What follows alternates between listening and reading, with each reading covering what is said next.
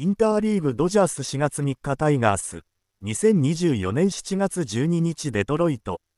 ドジャースの大谷翔平投手、30が12日、日本時間13日、敵地でのタイガース戦に、1番 DH で先発出場。9回に決勝打を放つなど5打数1安打1打点でチームの勝利に貢献した。今季10勝3敗でサイ・ヤング賞候補に上がる相手先発左腕、スクバルに対し、5回の第3打席まで無安打に抑えられると、2-3の8回の第4打席は相手3番手、ブリースキーの外角チェンジアップにバットが空を切り空振り三振。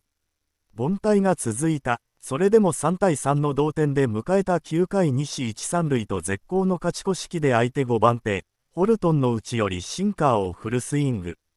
打球は大きな高架機中堅方向へ伸びた。大谷は、確信歩き、で一塁ベースに向かったが、打球はフェンス手前でワンバウンドしてからスタンドへ。惜しくも日本選手初の200号とはならなかったが、三塁走者、テイラーを生還させ、勝ち越し点をゲット。これが決勝打となった。ドジャースは先発、パクストンが2回までに3失点。それでも4回にフリーマンが14号ソロで反撃ののろしを上げると、この回、パフェスにも敵地打が飛び出し、2-3と1点差に迫った。8回西1、3塁では T、ヘルナンデスが右前敵地打を放ち、終盤に試合を振り出しに戻し、大谷の決勝打につなげ、連敗を読んで止めた。試合後、大谷は決勝打を振り返り、ヒットで1得点でいい。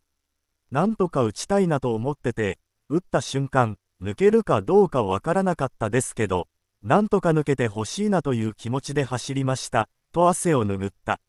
逆転勝利に、連敗中でなかなかタフな試合が続いてましたし、いい流れを持ってくるのが大事だと思うので、初戦を取れたのがまず大きい、と喜んだ。